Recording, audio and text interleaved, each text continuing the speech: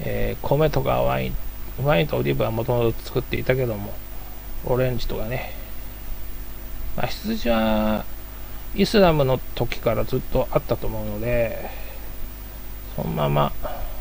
受け継いでいるんじゃないかな。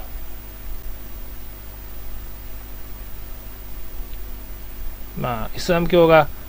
えー、育てイスラム教がさそこで作ってたものを全部奪って自分たちが作ってるようになったのかもしれないですけどね。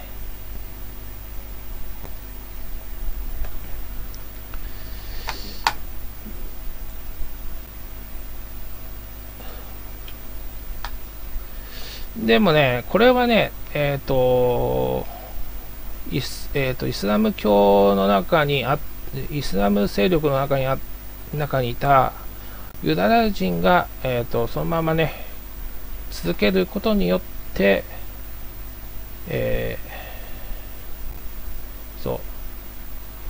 う。だからユユダヤ人たちがね、開発したものを、そのままユダヤ人だけが、えー、次の、えー、また忘れちゃったな。あ、カトリック、カトリック勢力に、えー、溶け込んで続けて発展させたっていうことですね。1609年、スペイン王フェリペ3世によってモリスコ追放。うん、多分、モリスコ追放っていうのは、えー、この、多分ね、僕わかんないけど、このカトリック教の中に、えー、溶け込んだ、えっ、ー、と、ユダヤ系の人たちのことをモリスコって言ったんじゃないかな。わかんないけどね。多分そうだと思うんだけども。で、やっぱりね、ユユダヤ人は出て行ってもらいたいっていうことですよね。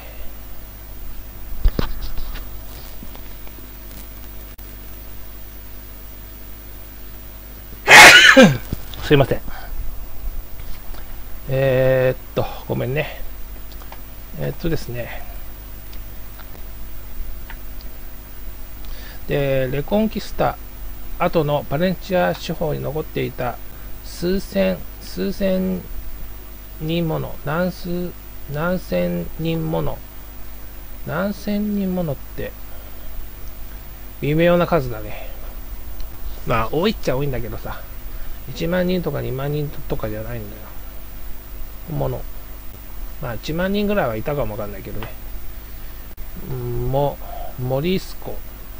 えー、カトリックに解消したイスラム教徒が追放された。確かねイスラム教徒は、えーと、カトリックに改心したイスラム教徒そして改心していないんだけどもイスラム教徒と偽ったグループそして、えー、改心しなかったグループと確かいたと思うんだけども確かね、森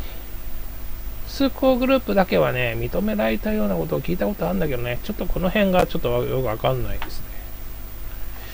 えっ、ー、と、森、森えー、改心したグループが、あいつらは、えっ、ー、と、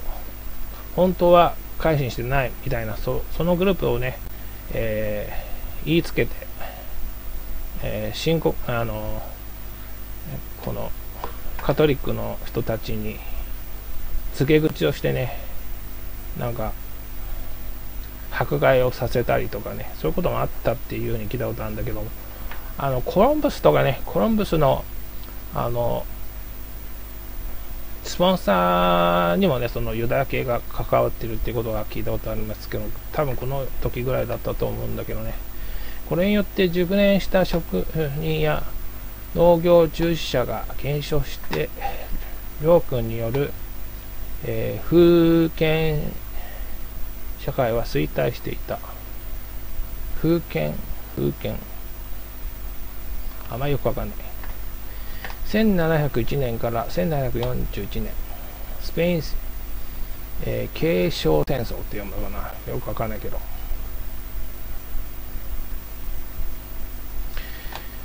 えー、アリンカーテン、アリンアリアリカンテ。アリカンテの町がフランス・ブルポン家の軍隊に、えー、包囲されてましたと、えー、その戦争の後ね経済がさらに悪化していった、えー、18世紀から19世紀低迷期靴製造業レモンやアーモンド。オレンジはねずっと作ってるよね。オレンジはねえーと、モロッコに行った時に街路樹が、えー、オレンジだった街がいくつかあってマラケッシュとかもそうだし、うんどうん、その以外の街もそうだったしでモロッコから船に乗って、えー、スペインのね街にたどり着いてそこから鉄道の駅まで歩いて行った時も街道中がオレンジだったという記憶が残ってますね。確かね、バレンシアの街の中もね、そういうのあったと思ったアーモンドっていうのはさ、桃とかさ、あんずとか、すももとかの、どれ、ど、なんかの種類の種なんだよね。だから同時に桃とかあんずとかも作っていたっていうことになるんじゃないのかなと思うんだけどね。などの、えー、農業、漁業、低迷期ながらもそういうのをやっていたということですね。えー、ハリカンテ港から、えー、国際的な貿易が増加。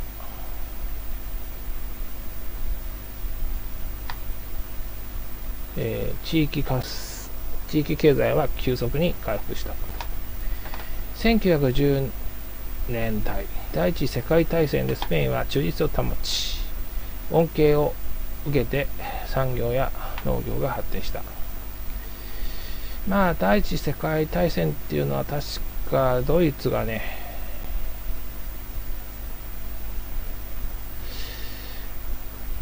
ロシアの方に行ったんだけどな。あ詳しくわかんないな。確かオスマン帝国もまだ存在していたような気がするんだけどな。詳しくわかんない。